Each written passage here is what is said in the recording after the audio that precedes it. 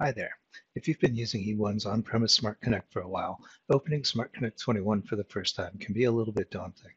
In this video, I'll go through some of the key differences between SmartConnect 2018 and SmartConnect 21.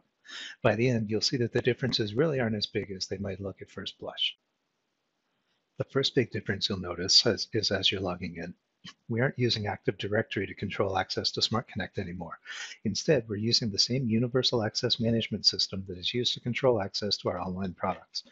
That means that the same email address and password that you use to log into SmartConnect on-premise can later be used to log into smartconnect.com. And if you have access to Popdock, the same email address and password gets you into that.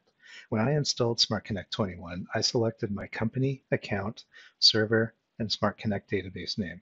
Now while logging in, I simply enter the email address and password for my account. This reaches out to the eOne licensing servers to validate that your license is still active and then lets you in. When you're just starting out, the person who created your account will be the only one with access to SmartConnect and will be the administrator by default. That administrator can then start to add users over here on the security tab. As I said before, we aren't going to be pulling in users from our Active Directory anymore. Instead, we'll enter an email address and assign them a starting password for the user, which we can force them to change using this checkbox. Other than that, you can see that the rest of the security is similar to what you had in SmartConnect 2018, with the ability to control what users can do, as well as which integrations and connectors that they can access. The next big difference is how we deal with connectors. Connections have moved from the Setup tab to their own tab. One of the coolest benefits of this is that you can have multiple instances of the same connector. No more hosting multiple instances of SmartConnect so that you can support multiple tenants of your ERP or CRM solution. For example, if I had a QA tenant of Dynamics GP to connect to, I could simply create a new, create a new connection to Dynamics GP and fill it in with my QA server information. Here's what that GP connection looks like, just so you don't have to watch me fill it out. Not scary at all.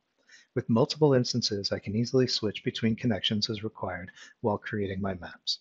And don't worry, SmartConnect still supports Dynamics GP back to version 10 and Dynamics NAV back to version 2009 R2. Your SmartConnect 21 licensing dictates how many connections are allowed to be set up on your tenant. If you need more connections than your current license allows, it's easy to nip on over to the eOne Solutions store and upgrade your license. The next big difference is how we deal with data sources. Instead of maintaining sources in each integration, now we go to the Data Sources tab. In essence, setting up a source is the same as it's always been, but now we can use one source across multiple integrations. If I click on Create here, I have the same data source type options that I've always had with bulk, change, and real time, and they work the same way they always have.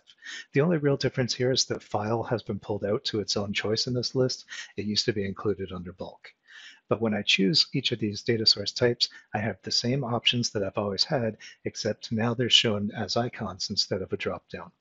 Once I've chosen my source type, I simply click the connection type and then click OK. Now I have to give it a name and select which connection instance I want to use. If the connector has a concept of companies, I would choose that as well from the dropdown. Just like before, each data source is going to look a little bit different.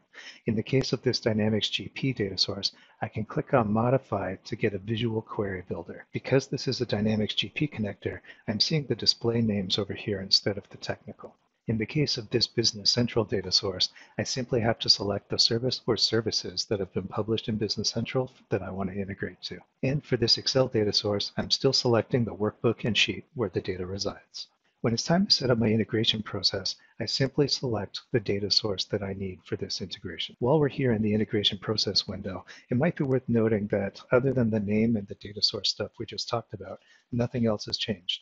You still select your destination type map your fields, add tasks, and schedule things the exact same way you always have. The last change you might notice is that there is no longer a Setup or Administration tab. While I've already shown you where to go for a few of the things that used to be there, the rest can be found up here on the File menu. It's all the same menu choices, just in a new place. So there you have it. While SmartConnect 21 might look a little confusing when you first open it, the changes really aren't that bad. If you're ready to go play, you can download SmartConnect 21 from our website right now. Just remember that 21 and 2018 cannot be installed on the same server. If you'd like to get some more detailed information or training on SmartConnect 21, please reach out to your account manager to discuss your options. Thanks for watching.